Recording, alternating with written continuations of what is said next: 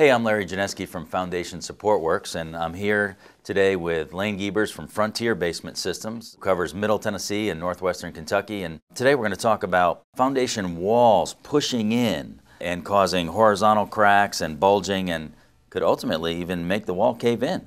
Exactly. What it is, it's expansive soil. All the clay we have around here, when we get all this rain, wants to move. And when clay is dry, it shrinks and it gets smaller. Uh, when clay gets wet, it then expands and gets bigger and can put a lot of pressure on the outside of basement walls. Right. So typically, uh, what kind of cracking would we see if we have our, our basement wall pushing in? Normally what you're going to see, especially on a, on a block wall, you're going to see about one course, one row of block below where the outside grade is, is going to have a horizontal crack. But then when it gets to the corners, you're going to see some stair stepping. If it is a poured wall, you'll usually see just a vertical crack. It'll happen all at once. Okay, and you know the foundation is, you know, literally that word foundation. You know, it's I mean it's holding up our house, it's holding Right. up our our home, and it's kind of scary when big cracks open up. So what might some of the solutions be? Well, it depends on how the home is constructed because there's no two homes exactly alike, and the soil conditions of what's outside. So our preferred method is using the Geo-Lock wall anchors, which is an earth anchor. And basically what we're doing there is we're going out and we're using the earth to help stabilize the wall that is in place. So we're basically putting a wall plate on the wall and then going outside in the earth. And it's actually an engineer, it's not a rule of thumb, it's how far it should go out, how deep it should go.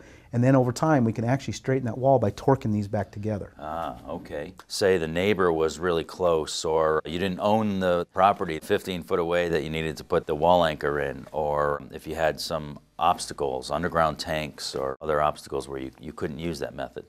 And the other part is we see a lot of is the rock too. Just sometimes it's Right. physically impossible to do that or to anchor it to the rock because the rock is not a good stable thing to go into.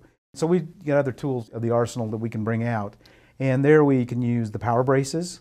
And there what we're doing, we're using an I-beam that is designed to be attached to the footing down at the bottom and then come up and we actually have again, we have a blade that we can actually attach it and do a torquing that we can actually straighten that back over time. And if the wall is not bowed too much or it's just starting to crack, and this is why it's a good idea to get in front of it, we have a carbon armor, and uh-huh. it's a carbon fiber that basically gets epoxy to the wall and it knits it all together as an entire system.